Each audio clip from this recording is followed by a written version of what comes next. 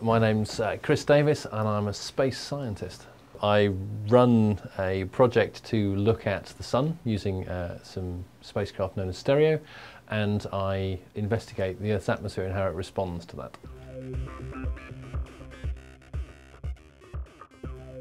Uh, best things are being the first person ever to see some of some of these exciting things that are happening. Uh, it's just amazing part of science when you you investigate something and it's the first time anyone's seen it, and you can sit and be smug about it for a couple of minutes until you realise you don't quite understand it yourself. Uh, the worst part, I think, is the paperwork.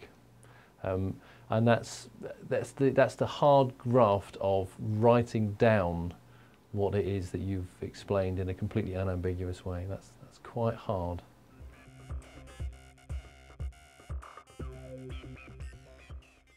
The work I'm doing is important because uh, I'm looking to see how the, the sun can affect the Earth's environment and we're becoming more and more vulnerable to changes on the sun uh, with spacecraft and big power grids. All these things are vulnerable to, to these uh, solar explosions.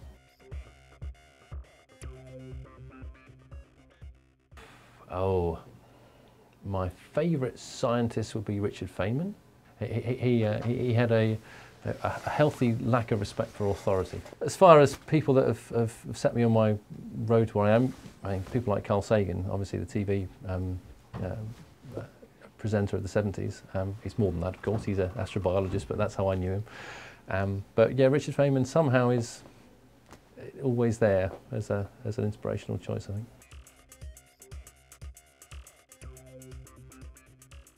Science is about finding stuff out. So if you enjoy finding stuff out, then I think you're cut out to be a scientist.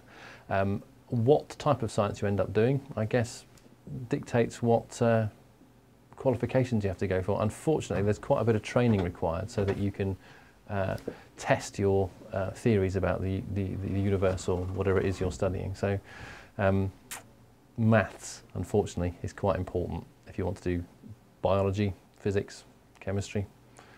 Um, it's, a, it's an unfortunate reality, so study maths.